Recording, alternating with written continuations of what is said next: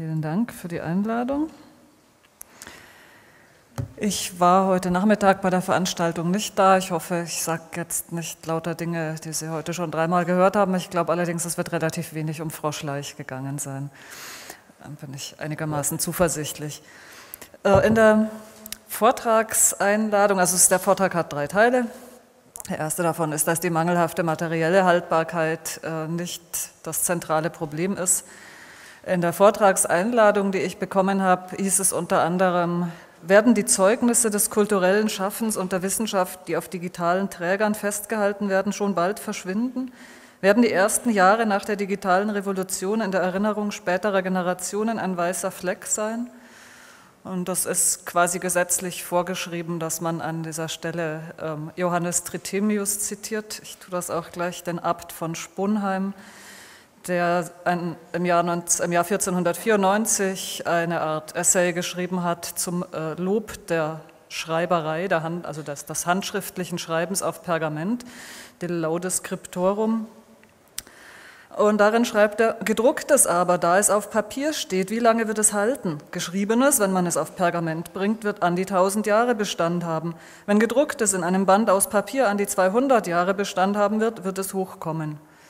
Das äh, wird heute gerne ein bisschen spöttisch zitiert, aber im Prinzip hatte er natürlich mit diesen Zweifeln an der Haltbarkeit des Papiers völlig recht. Tatsächlich hat sich das Papier äh, in der Zwischenzeit aber ganz gut bewährt, weil es ähm, sowohl billiger als auch leichter zu vervielfältigen war als die handschriftliche Kopie auf Pergament. In dieser Abbildung sieht man schon, dass es sich nicht um ein handschriftliches Manuskript äh, handelt, sondern um die gedruckte Fassung. Das Manuskript ist nämlich passenderweise nicht erhalten, das ist zwei Jahre älter. Der Text ist dann ist nach zwei Jahren gedruckt worden und das wird nicht diese Fassung sein, aber zumindest ist er uns äh, auf Papier überliefert worden. Es war also das äh, flüchtigere Medium, das beim Bewahren geholfen hat. Und das ist eine Erkenntnis, die jetzt nicht neu ist, die hat sich äh, im Laufe des 16. Jahrhunderts schon auf breiter Front durchgesetzt, dass sich Haltbarkeit nicht nur durch die Haltbarkeit des Materials erreichen lässt, sondern auch durch Masse. Ähm, auf dieses Prinzip setzt man auch im Tierreich, das ist der versprochene Froschleich, der Frosch legt den irgendwo in die Landschaft. Es ist kein sehr haltbares Material, aber es ist einfach sehr, sehr viel davon da und ein paar davon, ähm, so ist das Froschkonzept, werden schon durchkommen. Der einzelne oder der seltene Gegenstand äh, kann sich nie ganz auf die Haltbarkeit seines Materials verlassen. Vervielfältigung ist eine mindestens gleichberechtigte Strategie, wenn man das Überleben von Informationen sichern will oder wenn man es zumindest, sagen wir, wahrscheinlicher machen will, weil es hundertprozentige Sicherheit äh, auch dann nicht gibt, wenn man das Ganze in Marmor meißelt. Das ist natürlich da eine problematische Strategie, wo der Urheber überhaupt nicht will, dass ein Inhalt vervielfältigt wird, also bei privaten Daten oder bei äh, kopiergeschützten Daten. Alles offen zugängliche, kopierbare hat naturgemäß äh, deutlich bessere Chancen auf Erhaltung, einfach weil es in sehr vielen und zugänglichen Kopien existiert. Eine zweite Strategie, die auch nicht primär auf die Haltbarkeit äh, des Materials setzt, äh, fiel mir auf, als ich vor etwa einem halben Jahr bei Twitter aus einem Vortrag zitiert habe, den ich bei der äh, Litflow-Tagung gehört habe. Da sagte jemand, Nachhaltigkeit sei kein Wert an sich und die nachhaltigste deutsche Architektur schließlich Bunker. Ich war davon begeistert und habe das getwittert. Ähm, es kam aber recht zügig ein Einwand äh, von jemandem, der sagte, die nachhaltigste Architektur bei uns sind immer noch Sakralbauten. Was, äh, es, gibt Bunker auch einfach noch nicht so sehr lange. Die Kirche setzt eben nicht primär auf meterdicke Betonwände, sondern bewegt durch eine Idee die Menschen dazu, über Generationen hinweg immer wieder äh, die Kirche zu reparieren, wenn sie zu bröckeln anfängt. Und falls sie dann doch mal im Krieg einem Bombenangriff zum Opfer fällt, baut man oft an derselben Stelle eine neue hin. Das ist auch im Zusammenhang mit der Speicherung von Informationen ein wichtiger Punkt. Denn wenn Informationen verloren gehen, dann liegt es in der überwiegenden Mehrheit der Fälle eben nicht am Versagen des Materials, sondern am nachlassenden Interesse. Wenn wir an Textverluste aus der Vergangenheit denken, dann drängt sich immer gleich dieses spektakuläre Bild der abbrennenden Bibliothek auf, spätestens nach äh, der Name der Rose. Das ist in Wirklichkeit aber nur ein ganz kleiner Teil des Problems. Die meisten Inhalte, die verloren gegangen sind, hat einfach irgendwann niemand mehr für aufbewahrenswert, also für weiterkopierenswert gehalten. Und wenn wir alte Texte noch haben, dann haben wir sie in der Regel nicht deshalb, weil das Material so ungewöhnlich haltbar gewesen wäre, sondern weil sie halt immer wieder abgeschrieben oder nachgedruckt worden sind. Und natürlich gab es und gibt es ein ganzes System von Institutionen, die ähm, von Ihnen zum Teil vertreten werden, die für die Überlieferung dieser Texte zuständig sind. Selbst wenn die Bibliotheken abbrennen, dann ist das keine Naturgewalt. Ähm, das passiert nicht unbedingt versehentlich. Das hat ironischerweise gerade der zitierte Johannes Trithemius erfahren müssen, der die Bibliothek seines Klosters, äh, während er dort Abt war, von 48 ähm, Bänden auf über 2000 aufgestockt hatte. Gegen Ende seines Lebens brannte diese Bibliothek tatsächlich teilweise ab, aber nicht versehentlich, sondern weil sie von Mitmönchen in Brand gesteckt worden war.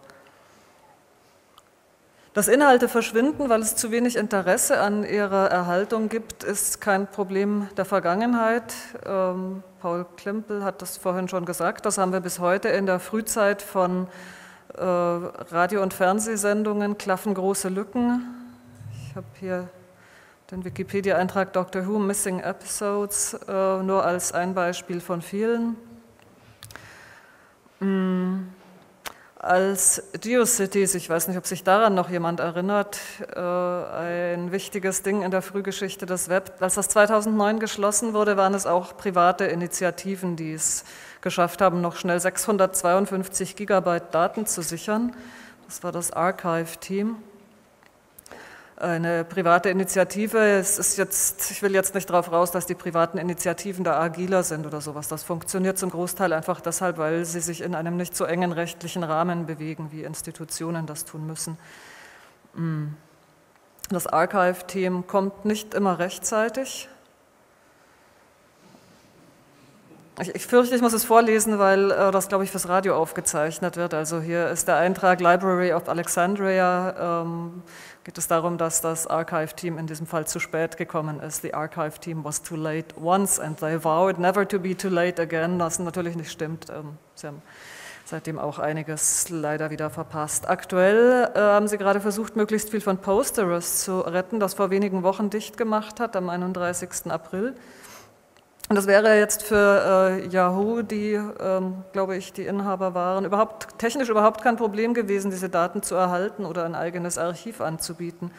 Das ist kein technisches Problem. Das Problem hat unter anderem damit zu tun, dass diese Daten vielen und darunter jetzt nicht nur Laien als überhaupt nicht erhaltenswert gelten. Gerade bei GeoCities ist es leicht zu denken, äh, das sei, die Welt sei besser dran ohne dieses hässliche Sammelsurium von Quatsch. Aber so denkt natürlich kein anständiger Archivar. GeoCities enthält einen großen Teil der Frühgeschichte des Webs und dass äh, diese Sachen ästhetisch so zweifelhaft daherkommen, gehört zu dieser Geschichte untrennbar dazu dazukommen, und das hatten wir jetzt auch in den Vorreden schon, meistens rechtliche Probleme. Die Leute von Archive Team können, da sie in den USA sitzen, auf Fair Use plädieren, aber auch das ist schon eine Grauzone und sie setzen wohl vor allem darauf, dass sich niemand beschweren wird. In Deutschland ist das mangels Fair Use-Regelung alles noch ein bisschen schwieriger. Oder bei kopiergeschützten Daten, also zum Beispiel bei den meisten E-Books. Die Daten sind zwar in großer Zahl auf den verschiedenen Rechnern und Lesegeräten der Leute gesichert, aber sie sind verschlüsselt und wenn eine einzige zentrale Stelle wegfällt, dann hat man von dieser großen Menge Froschleich äh, recht wenig. Dass in der Diskussion oft so getan wird, als ginge es ähm, um technische Probleme, um die Haltbarkeit des Materials, darum, dass Digitales eben keine äh, Marmortafeln sind, dann steckt dahinter, glaube ich, zum Teil auch Wunschdenken, weil diese technischen Probleme natürlich leichter zu lösen wären als die Probleme, die wir stattdessen haben. Wenn wir nicht nur das theoretisch verfügbare Wissen betrachten, sondern auch das, das praktisch nutzbar ist, dann sind speziell ältere Bücher und Texte oder generell das ältere Material durch die Digitalisierung gerade wieder sehr viel zugänglicher geworden. Ich habe den Text der Einladung zu dieser Veranstaltung meinem Co-Autor Alex Scholz gezeigt, der Astrophysiker ist und der sagte dazu, haha, ich muss immer lachen, wenn ich sowas höre. Ohne die Digitalisierung wäre ein Großteil meiner Fachliteratur für fast die gesamte Welt so gut wie vom Erdboden verschwunden. Viele Publikationen lagen eben bisher nur in bestimmten Bibliotheken herum in gedruckter Form. Selbst wenn man zufällig vor Ort ist oder wenn man die Publikation bestellen kann, kann man trotzdem noch nichts darin finden. Erst durch die Digitalisierung und Online-Stellung wird das alles wieder wertvoll. Vorher war es praktisch auf dem Mond. Das ist jetzt kein interessierter Laie, der da spricht, sondern jemand, der an einer Universität arbeitet seit vielen Jahren und Zugang zu den ganzen Dingen hat, an die man eben nur an Universitäten rankommt.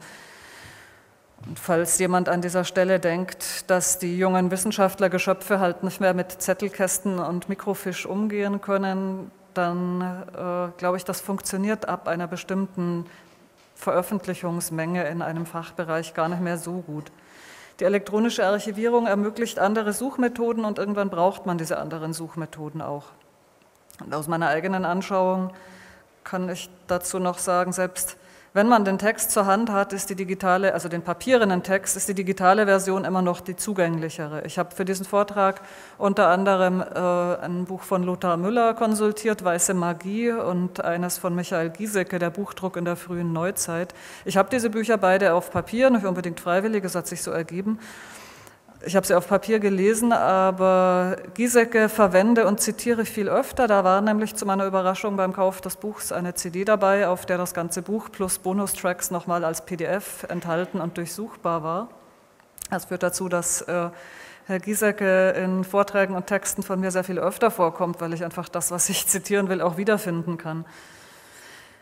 Das hat mich letzten Winter ab und zu beschäftigt, als es, um, als es in der Presse immer wieder um den Verkauf der Stralsunder Archivbibliothek ging.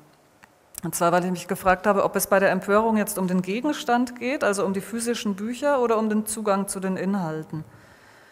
Was wäre anders gewesen, wenn die Stralsunder Bibliothek die Inhalte vor dem Verkauf digitalisiert hätte? Ich konnte nicht erkennen, dass in der Diskussion getrennt worden wäre zwischen dem Wunsch nach Zugänglichkeit der Buchinhalte und dem Wunsch, die tatsächlichen Bücher aus historischen Gründen weiter in genau dieser Zusammenstellung an genau diesem Ort aufzubewahren.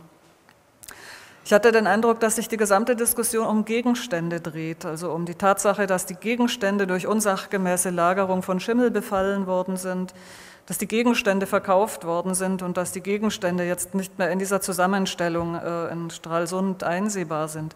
Dass in diesen Gegenständen auch was drinsteht und dass man diese Inhalte eventuell äh, besser hätte zugänglich machen können als in einem feuchten und offenbar auch nicht besonders seriös verwalteten Archiv. Davon war äh, in der Berichterstattung praktisch nicht die Rede. Das äh, ist ein Beispiel dafür, dass der gedruckte Text die Aufmerksamkeit sehr stark auf den physischen Gegenstand Buch lenkt. Und das beeinflusst wiederum die Prioritäten, die man beim Geld ausgeben setzt. Ein zweiter Punkt, also sind jetzt bei, der, bei den Problemen der haltbaren Medien, äh, ist das auch gerade das, was am gedruckten Text öfter gelobt wird, dass er nämlich nicht einfach über Nacht wieder geändert werden kann, dass ja auch das kein reiner Vorteil ist. Es ist genau dieselbe Eigenschaft, die es mit sich bringt, dass Fehler, die sich mal in den Text eingeschlichen haben, darin ziemlich lange stehen bleiben. Und dann, ähm, ich weiß nicht, ob man das hier erkennen kann, auf diesem Grabstein äh, ist zuerst das Sterbejahr 1975 eingraviert worden und dann später nochmal äh, mehr schlecht als recht in 1985 korrigiert.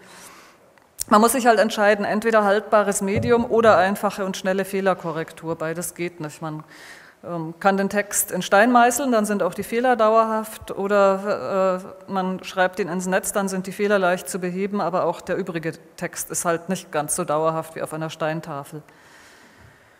Ähnliches Problem hat man mit Informationen, die sich schnell verändern. Ähm, mit Werken, die sehr umfangreich sind. Wenn die englischsprachige Wikipedia ein Lexikon auf Papier wäre, dann hätte sie ungefähr 10.000 dicke Bände. Das passt in die meisten Privatwohnungen schon nur noch ganz schlecht rein. Bei der deutschen wären es immer noch ungefähr 3.000 Bände. Und wenn man statt Papier auf ein wirklich haltbares Medium setzt, dann wird es nicht besser. Das hier äh, ist der äh, frisch gestartete Dienst Memory of Mankind, der äh, für Privatleute und Institutionen beliebige Inhalte auf Tontafeln brennt und in einem ehemaligen Salzbergwerk einlagert. In der kleinsten Schriftgröße passen 10 A4-Seiten auf eine Tafel, also sagen wir großzügig fünf Wikipedia-Einträge. Das macht immer noch um die 300.000 Tontafeln allein für die deutsche Fassung. Das sind aber nur die relativ konkreten Nachteile haltbarer Medien. Äh, es gibt auch abstraktere äh, Einwände. Harold Innes war ein mm, inzwischen gar nicht mehr so bekannter kanadischer Vorläufer von Marshall McLuhan. Und äh, Innes hat in den 40er Jahren des letzten Jahrhunderts zwei Arten von Medien unterschieden nämlich die, die er als Space Binding bezeichnet und die, die er als Time Binding bezeichnet. Das sind ganz grob zusammengefasst äh, bei den zeitbindenden Medien sowas wie Steintafeln oder handgeschriebene Texte auf Pergament. Heute würde er vermutlich auch das Papier dazu zählen. Inhalte, die man auf solchen zeitbindenden, äh, in einer solchen zeitbindenden Form niederlegt, halten ein paar Generationen lang, erreichen aber ein äh, begrenztes Publikum. Bei den Raumbindenden ist es genau umgekehrt. Sie sind flüchtiger, haben aber eine größere Reichweite. Die Reichweite ist da erstmal rein räumlich gemeint, aber aus der größeren räumlichen Reichweite ergibt sich in der Regel natürlich auch ein größeres Publikum. Außer in Kanada, da kann man seinen Radius um 1000 Kilometer erweitern und erreicht immer noch nur zwölf Leute mehr. Hm. Zu diesen raumbindenden Medien gehört für Innes Radio, Fernsehen, überregionale Tageszeitungen und er ist dann in den 50ern gestorben, aber sonst hätte er vermutlich auch das Internet und das E-Book dazu gezählt. Innes leitet jetzt aus diesen unterschiedlichen Eigenschaften der Medien ähm, Folgen für die jeweilige Gesellschaft ab. Die zeitbindenden Medien, sagt er, fördern Stabilität, Gemeinschaft, Tradition, Religion. Die Raumbindenden fördern schnelle Veränderungen, Materialismus, Säkularismus, die Ausdehnung von Machtbereichen. Es ist also nicht nur so, wie man äh, jetzt als, als, als nicht innes lesender Mensch annehmen könnte, dass die Kirche zur Beliebtheit des Pergaments beiträgt, sondern es ist umgekehrt auch die Art des Pergaments, die ähm, die Dominanz der Kirche stärkt mit ihren Ideen, die für die Ewigkeit niedergelegt sind und die nur für recht wenige Menschen zugänglich sind. Umgekehrt sagt Innes, dass die Vorherrschaft der Tageszeitung zu Kommunikationsmonopolen führt und dazu, dass langfristige Entwicklungen und dauerhafte Ideen eher zu kurz kommen. Außerdem trägt das gedruckte Wort natürlich dazu bei, dass andere Formen der Wahrnehmung, andere Ausdrucksformen in den Hintergrund treten. Ähm, die mittelalterlichen Manuskripte sind noch in erster Linie vorgelesen worden. Mit dem Buchdruck tauchen dann Dinge wie Tafeln, Diagramme, äh, grafische Darstellungen im Buch, in den Büchern auf, die sich nicht mehr vorlesen lassen. Und Lothar Müller, der Autor von äh, Weiße Magie, schreibt dazu, die Typografie, so liest es sich bei McLuhan, lässt das dialogische Stimmengewirr um die handschriftlich verfassten Bücher und das laute Lesen verstummen. Sie begabt den typografischen Menschen mit der Fähigkeit zu Distanzierung und Unbeteiligtsein, einer entscheidenden Voraussetzung für die Entschlossenheit, mit der er den wissenschaftlichen Fortschritt in Medizin, Naturwissenschaften und Technik vorantreibt und so weiter. Das Distanzorgan Auge entfaltet sich auf Kosten des sozialsten der Sinne, des Ohres und begünstigt damit den Individualismus. Das war das Buch äh, Weiße Magie, das ich nur auf Papier besitze und gar nicht so gerne benutze, weil es ironischerweise ziemlich schlecht riecht. Digitale Texte sind also nicht einfach nur eine andere Darreichungsform genau derselben Inhalte, die wir bis dahin auf Papier hatten. Das Digitale ist ein ganz neues Tier mit ganz neuen Eigenschaften. Es kann die vorhandenen Speicherformen ergänzen, es kann sie korrigieren und es trägt dazu bei, dass wir uns von den zeitbindenden Medien mit ihren Vor- und Nachteilen immer weiter wegbewegen, hin zu den Vor- und Nachteilen der Raumbindenden.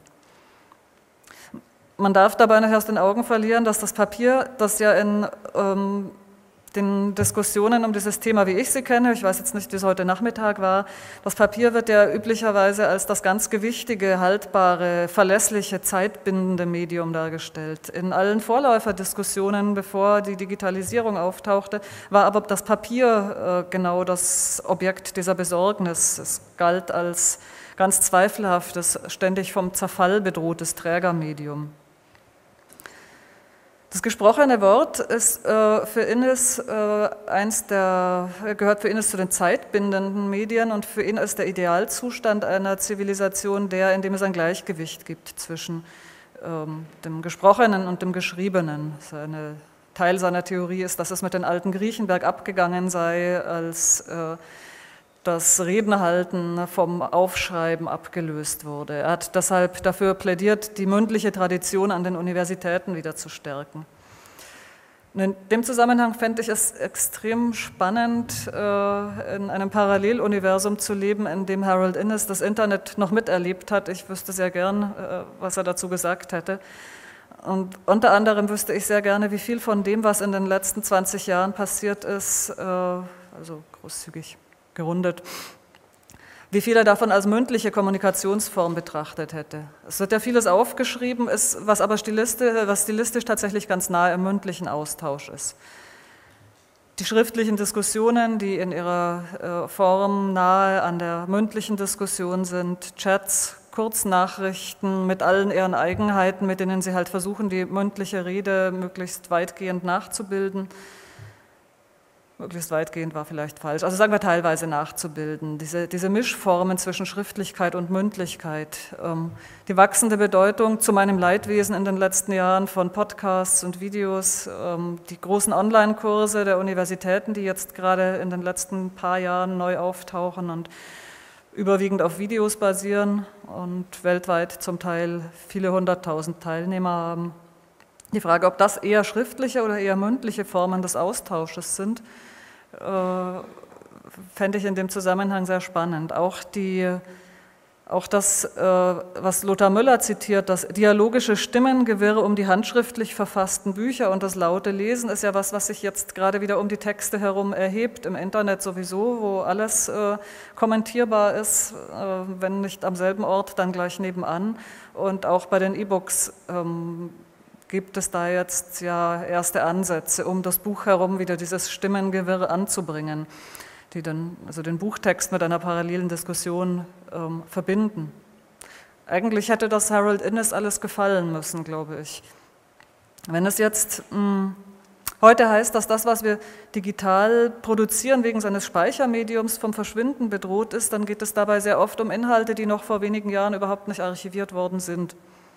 Alltagsgespräche sind früher unarchiviert geblieben, wenn sie jetzt nicht gerade von der Stasi aufgezeichnet worden sind. Das ist heute schon bei demjenigen Teil der Alltagsgespräche anders, die schriftlich stattfinden, also zum Beispiel in Chats, bei Twitter, bei Facebook, wenn man so will. Sprachforscher haben, seit es das Netz gibt, ganz andere Möglichkeiten als früher, äh, den tatsächlichen Sprachgebrauch anhand eines riesigen Textkorpus zu untersuchen, also über den Sprachgebrauch im Alltag rauszufinden.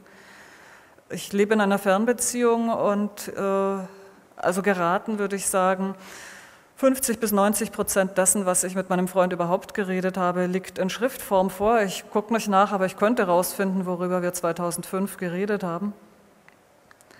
Das kann sich auch für denjenigen Teil der Alltagskommunikation, der äh, rein mündlich, also jetzt in der ganz klassischen alten mündlichen Form stattfindet, in naher Zukunft ändern, nämlich dann, wenn sich diejenigen Formen von Live-Aufzeichnung von allen, die im Moment nur von ein paar experimentierfreudigen Exzentrikern praktiziert werden, in die breite Masse fortsetzen, dann wird man womöglich auch das tatsächlich Gesprochene routinemäßig aufzeichnen.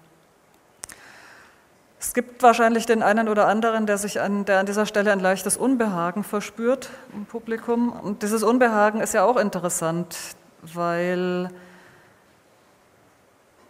wenn das mündliche, wenn alles, was mündlich passiert, dauerhaft und lückenlos archiviert werden soll, weil sonst für die Nachwelt was Wissenswertes verloren gehen könnte, dann erhebt sich so ein allgemeines Gebrummel, während das beim Schriftlichen eher umgekehrt ist. Äh, in dem Moment, wo jemand sagt, wir müssen vielleicht nicht alles aufbewahren, dann äh, runzelt man die Stirn. Alltagskommunikation ist nur ein Punkt, an dem wir heute was routinemäßig aufbewahren, was früher einfach äh, ungespeichert verloren gegangen ist. Ein anderer Punkt ist die detaillierte Entstehungsgeschichte von Texten. Äh, hier noch in einer relativ klassischen Form, die Versionsgeschichte der Wikipedia. Aber da kann ich äh, ja, ähm, den ganzen Text neu schreiben und dann einmal speichern, dann taucht diese neue Version einmal in der Versionsgeschichte auf. Das, äh, das sind Momentaufnahmen in relativ weitem, vom Nutzer bestimmten Abstand. Ähm, bei Google Docs, äh, in denen ich meistens arbeite, ist das nicht mehr vom Nutzer bestimmt, sondern es wird einfach, also hier kann man das sehen, ein paar Mal pro Minute wird so eine Momentaufnahme des Textes gemacht. Und der Trend geht offenbar dazu, diese Aufnahmen in immer noch kürzeren Abständen zu machen. Ich muss dazu mal kurz aus der Präsentation raus und in den Browser hinein.